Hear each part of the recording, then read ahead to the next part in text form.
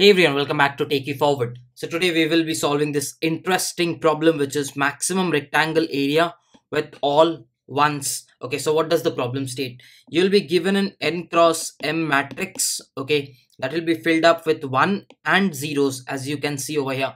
And you have to figure out the maximum rectangle. Like for an example, this is the maximum rectangle over here. Like this is the rectangle which has a uh, length of 2 and the breadth of 3 which is in short an area of 6 like if you carefully see 1 2 3 4 5 6 so the area is 6 with all ones. Like there are other rectangles like this is one of the rectangles. Also this is one of the other rectangles of 1 into 4 again uh, probably this is one of the other ones. This is one of the other ones. I can say this is again one of the other ones. Can i say something else? Obviously not this is not an rectangle because all ones we still have a zero. So i can say this rectangle is having all ones. So the length into breadth is 6 and that is the maximum that you can get this is the maximum that you can get. So there is a prerequisite that you need to know before understanding the approach to this particular problem. That is very simple. You have to solve this problem area of largest rectangle in histogram. Like you are given an histogram of height 2 height 1 height 5 height 6 height 2 height 3 you have to find out the largest rectangle. And the largest rectangle is this one. Like if i shade this up this is the largest rectangle of width 2 and height 5 which makes it an area of 10 this is the largest that you can get. Now you don't have to worry. I've already made a video on this. Like if you see on the screen there's a video which is already made. And this is the part one solution which will involve couple of solution which is the brute force and then a space complexity solution. Then there is a part two as well of the same video which has again a simple code and it has a very very simple code. Like if I just go back to the code the very very short code. So we will be using this portion. And please go back and watch this. Once you have uh, seen this you can come across over so I'm assuming that you've seen the video for largest rectangle in an histogram. So assume I am on the first uh, column or rather first row. And I said this is a building of one size, zero size, one size, zero size and zero size. Assume one size, zero size, one size, zero size, and another zero size.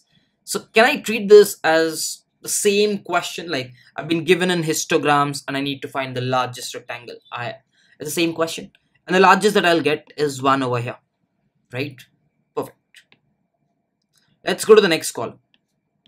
The moment I next uh, go to the next column, can I treat it as a two length building, a zero length building, a two length building, a one length histogram, a one length histogram, which again makes it something like 2, 0, 2, 1 and 1 and this is the histogram. So if this is the histogram, can I again find the largest rectangle? Can I again find the largest rectangle area? I can because it's the same histogram. I'm getting another histogram. So I'll again pass on to that problem and that will give me the answer. Perfect. Now, if I just go across to the next guy. Over here, I have a 3 building, I have a 1 building, I have a 3 building, I have a 2 building, I have a 2 building. So can I say I have a 3 building, which is again an histogram. I have a 1 building, I have a 3 building, I have a 2 building, and I have again a 2 building. So all of these are histograms. Again, I'm forming an histogram, which can again give me the largest rectangle. And this time the largest rectangle will be this, which is 2 into 3, which is 6. So I get 6 from here, which is ultimately this one, which was our answer. So we got it right. Now what I'll do is I'll now try to move to the next column. The moment I move to the last, I have an height of 4. I have for this guy an height of 0, 0 again, and this time 3, and again a 0 because this is 4, this is 0, 0, this is 3, and this is again 0. So again an histogram, and if I pass on, the largest rectangle will be this one of 4 length. So i get a length 4 but eventually the maximum that i got was this portion. So thereby i get my answer as 6 pretty straightforward. That means for every row if someone can give me for every row for every row if someone can give me the histogram i can easily solve the problem. Because we know we have already written a function to find the largest rectangle in histogram. We have already written a function. So what we need is when we go over here I know there are five columns. I know there are five columns. So for five columns, this guy is height 1, height 0, height 1, height 0, height 0. So height 1, 0, 1, 0, 0. So this is my this is my height of all histograms. So if I just pass on this to the function, this function will give me the maximum area as of now as 1. This will give me the maximum area as of now as 1. Perfect. Next, I will move on to here. This is a 1. Can I say previously it was a 1? So if there is another 1 coming across, the height of the histogram will ultimately increase only. Ultimately increase only. So what I'll do is I'll just go across and increase it. And if there is a 0, it'll still stay as 0. If there is a 1, the height will again increase. If there is a 1, previously there was a 0. Now there is a 1. So height will again go across to 1. And if there is a 1, the height will again go across to 1. This time, again I'll pass on to the function. And this time across, we will get the maximum area as 2. Which one? Either this one, or this one, or this one. So we get the maximum area as 2. Next we move to here. Again we get another 1 which means the height is increasing. So this will increase to 3. Now this time there is a 1. There is a 1. So what we will do is we'll make it 1. Again there is a 1 so 3. Again there is a 1 so 2. Again there is a 1 so 2. Again pass on. This time the maximum area we will get is 6. This time the maximum area that we will get is 6. And as of now we have a 3 1 3 2 2. That is what we have as of now, right? So next we move to the last column. Now we have a 1, right? So again, we previously had 3. So again, another addition of 1 will make it 4. But this time we have a 0. So the addition is no more taken into count and we will just make it 0. Right? We will just make it 0. Again a 0 will make it 0. Again a 1 we will make it 3. Again a 0 will make it 0. So we have 4, 0, 0, 3, 0. And this time when we pass it, we get the max as 4. So among all the calls for every row, the max that we got was 6. And that is what our answer will be. So we don't need to do anything every time. We just need to, if it's a 1, we increase the height. If it's a 0, keep the height as it is. Because that is how, because if it's a 1, previous height will be added. If it's a 0, the height will get back to 0. So let's try to code this up. So what are we given? We're given the matrix, we're given the n, we are given the m, right? So what I'll do is, at first I'll go over here, and this is the part 2. So the part 2, what I'll do is I'll just take uh, the problem uh, right across here. What we'll do is, we'll just uh, quickly uh, take the code and we will paste it over here.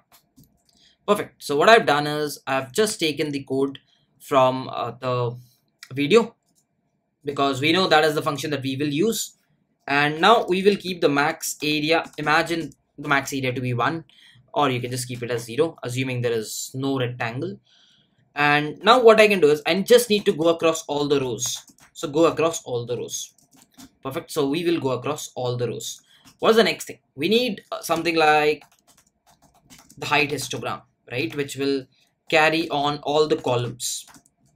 Now I know one thing for sure. I have to go through all the columns. So this is something which you will do.